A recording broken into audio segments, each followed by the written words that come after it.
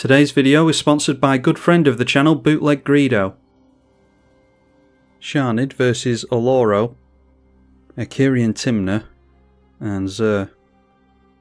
Uh, yeah, pretty good hand to start things off with, so we'll keep that. Drawing into Sword of the Animist on turn 1, and then getting into Urborg, so that will allow us to play out the Labyrinth Raptor. So I think we're okay to do that here. This is non-legendary, so don't mind getting that down before our commander. Bloodforged Battle Axe for the partner player.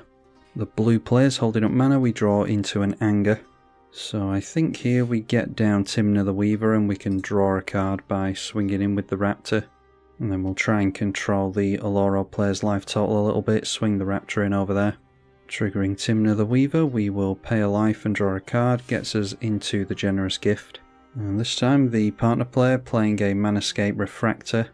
Zur just holding up three blue mana, really struggling on the colours over there apparently.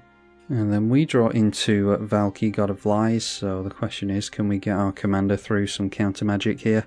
I think I would rather just try and get down the anger to be honest, because I do think that they're going to counter our commander, so get down the legendary land and play the anger. Not worthy that the Zur player is holding up uh, priority there, but the Oloro player isn't, so it might be they don't have counters over there. Spread the damage around a bit this turn, I think, seeing as how we have Tymna in play. In response, we see Dictate of Kruphix come down, so we're all going to start drawing additional cards. Going down to 37, and cleared a decent number of cards off the top there, without getting into a land, so yeah, glad I did that really. Get rid of the Valki. The Zur player does have access to black mana thanks to our Urborg, so able to play Sanctum of Stonefangs. Missing a land drop even with the additional card draw unfortunately. Seeing a Mox Opal from the partner player now and they do have Metalcraft online. So uh, Leonin Shikari being played and they will get a scry thanks to the Path of Ancestry. Then it's Akiri Lineslinger coming down as a 4-3 with First Strike and Vigilance. Infiltration Lens after that puts them at 3 cards in hand. Enlightened Tutor at the end step. That will put an enchantment or an artifact on top of Oloro's library. Mana Crypt is what they are going to draw into this turn. Dropping a land and playing out the Mana Crypt puts them on 6 mana this turn. Alright, and you don't see that very often. Oloro, Ageless Ascetic being played. Hopefully we can get into a land here after clearing those cards off the top. It is a Toxic Deluge, a good thing to have. We'll draw an additional card to the Dictate of Kruphix as well. Okay, got all of our board wipes, so Wheel of Fortune's out of the question. I think we need to start concentrating on Sword of the Animist at this point then. We'll have to discard a card at the end of the turn, unfortunately. So let's go Tymna being equipped so we can gain some more life. That does have lifelink and it'll get a plus one plus one buff from the Animist. And we'll hold back the Anger as a blocker, I think. Players might not want swinging at us if we've got anger being held up because it will give all of our stuff haste when it's in the bin. Uh, Labyrinth Raptor has Menace so it can go straight through Oloro and Tymna can go in to the left at Zur. We'll still try to make a land here. Certainly make one from Sword of the Animist. Alright, and drawing two additional cards there, so do get to make a land. Yeah, shame we didn't draw that before. We could have had the Arcane Signet down. Gonna have to discard a couple of cards here. So let's get rid of Wheel of Fortune and we'll get rid of the Toxic Deluge, seeing as how we've got two other board wipes available to us, both of which are one-sided in Urza's Ruinous Blast and the Ruinous Ultimatum. Mirror Hall Mimic coming down here, copy of any creature on the battlefield, so it comes down as a copy of the Oloro. Tymna the Weaver coming into play for the partner player as well. They will scry thanks to the Path of Ancestry again. Infiltration lens being equipped to the Akiri, which is currently a 5-3. And the Manascape Refractor has abilities of all lands on the battlefield, so they can animate that thanks to the Blinkmoth Nexus. Turns into a 1-1 flyer, goes in at Oloro, and Akiri swinging in at the uh, player, who does have some more black mana thanks to the Drowned Catacomb, just in case we lose our Urborg. Probably a good thing for them. They managed to hit two opponents there, so Tymna allows them to put two life into it, and they go up to six cards in hand. Infiltration Lens being thrown onto the Tymna after that. Oloro casting Amulet of Safekeeping, and sticking with seven cards in hand, four mana held up, we draw into a land straight away is really good. And then another one, so hopefully we don't start getting flooded. Throw out the Scalding Tarn, which we'll tap for mana thanks to Urborg. We'll get down our Arcane Signet. Then we're going to have to put Sword of the Animist onto our Menace creature here, so put two mana into that and maybe just have to get Shanid into play here. Maybe get rid of some counter magic from Oloro, they are holding up priority there. So once again swing in at Oloro with the Menace. That triggers Tymna at the end of the turn because we managed to get through there. So say yes, lose a life, and draw gets us into another legendary land. So uh, do we just get out Captain Lannery Storm maybe?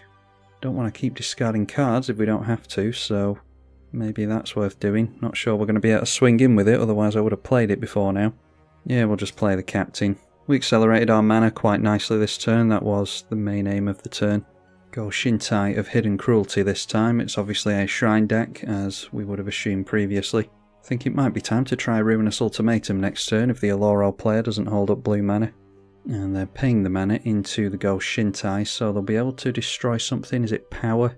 With toughness X or less. So pointing that at our Tymna. So Tymna the Weaver goes down on our side. Done plenty of work for us this game though, we've drawn a lot of cards off that. Mana Crypt for Akiri and Tymna, followed by Nettlecyst. Then a Swiftfoot Boots, Hexproof and Haste onto something.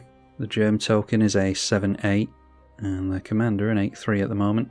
The Manascape Refractor, if it will expand, yeah, that's become a 1-1 flyer thanks to the Blink Moth. So swinging in at us with the uh, Manascape Refractor, the Akiri goes in at Oloro, probably a good idea to land commander damage over there. Noteworthy that they haven't put haste on the germ token, so uh, the Tymna swinging in towards us as well. Tymna swinging in towards Oloro, the Leonin swinging in towards Oloro as well, so really wanting to draw cards apparently. They did swing in the Tymna towards us first, I would have traded them the Anger for that, so Anger doing its job here, whilst we're not desperate for the haste. Embercleave coming into play during the blocking phase, so yeah, definitely want to see a Ruinous Ultimatum at this point. Might even be that the Oloro player doesn't counter it if we go for that. They may well counter the Embercleave. Embercleave allowed to hit play and it goes onto the now 9-3 Akiri Line Slinger, so they're going to take a lot of commander damage. Bumps it up to a 10-4 with double strike and trample. Alright, and Oloro plummets down to 9 life and 20 commander damage off the Akiri. Tymna obviously triggers there. They've got three cards in hand at the moment, takes them up to five. And then it is Curse of Opulence. Well, it says he targeted himself with the Curse of Opulence. Uh, you can't really rely on the Magic Online log for some reason. Wouldn't have thought he would enchant himself with that. Anyway, Oloro, putting one mana into Oloro, so that drains us all. Demonic Tutor from Oloro after that is at 8 life. I think they took a Lightning Bolt from the Mana Crypt there. So could see a board wipe here, might not have to go for the ultimatum after all. Well, looks like they're passing priority, they're going to let this colourless mana go to waste, so yeah, not sure what the plan is. They've got 10 cards in hand, so they do have to discard down to hand size. Discarding down to hand size Ashiok, Entreat the Angels, and Flux Channeler. We draw into a non-legendary land and another land, so yeah, in a bit of a predicament now. I'm not sure we'll land a Ruinous Ultimatum, especially after a tutor. I would have thought a tutor for a counter spell wouldn't have been the most intelligent idea, but they obviously don't fancy going for a board wipe. I think playing out God Eternal Oketra and holding up the Generous Gift is an okay plan here. Don't really want to go for my commander if we're just going to see a board wipe here at some point. Yeah, let's just go for the God Eternal Oketra. That means the Takenuma costs 2 mana for us to activate as well, so we can get the Tymna back if we want to, or the Valki now that we've got plenty of mana, that might be an idea. Can also hold up the Generous Gift still, even after we do that, so yeah. Let's swing him. No good attacks for the Captain Lannery Storm to ramp with some treasures, so that can just be a chump blocker along with the Anger. We'll continue to make use of the Menace against Oloro. I'm wanting to keep Generous Gift held up because I'm not trusting the partner player all that much to concentrate a lot on Oloro. Might be that they start swinging in towards us next turn, and I want to be able to hurt them for doing that. Thanks to all the life gain over here, the Zur player is managing to stick at 36 life. They gain some life from the Sanctum there and then put a mana into the Oloro. So uh, yeah, Oloro over here is really teetering. Uh, only 2 life.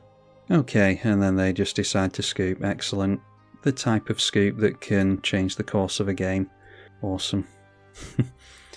yeah, and then uh, players are talking all kinds of mess in the chat as usual.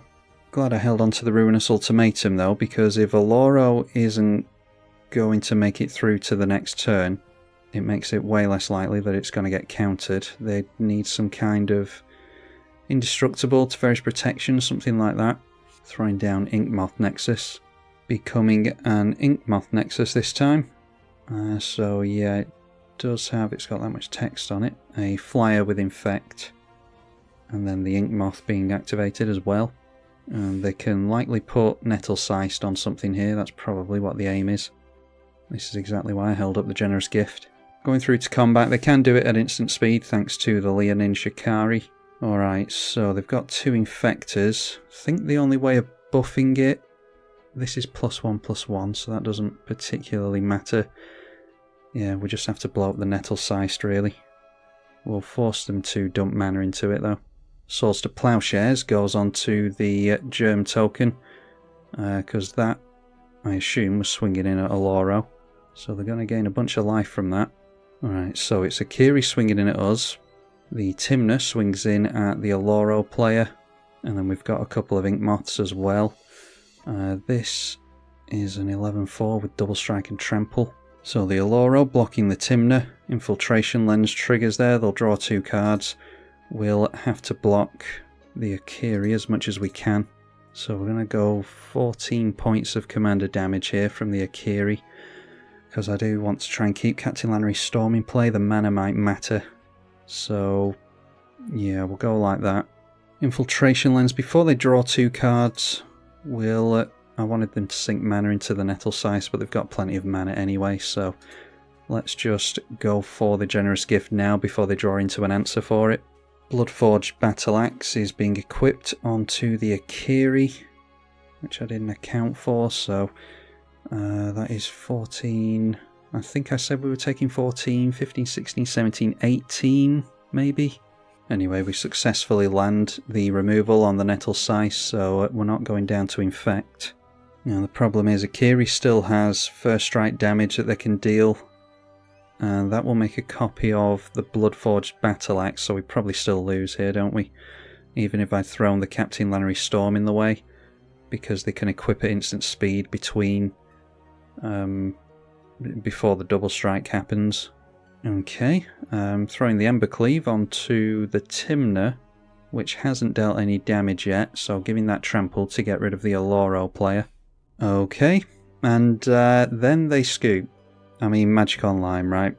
I do, I do feel bad uploading these videos, honestly, but there's really nothing I can do about it. I'm not gonna put days and days of my life into this because I don't have days and days to spare, obviously. I'm not doing this for a living. So apologies to you all for that. I think he could have had us there. I'll, I'll have to work it out, or some of you in the comments section can work it out. Um, we'll say yes to Oketra. That can go second from the top, or third from the top, whichever it is. Yeah, I'm pretty sure he could have hit us with the commander with the first strike damage, and then double strike damage would have gone through with another blade or uh, Bloodforged Battle Axe equipped. Might have had us there, I, I don't know, maybe not. Anyway, we'll see what goes on with the Mana Crypt from our opponent. They put mana into Oloro and do not lose to the Mana Crypt. Got a decent amount of mana, so they might be able to gain a chunk of life, but doubt it's going to be enough.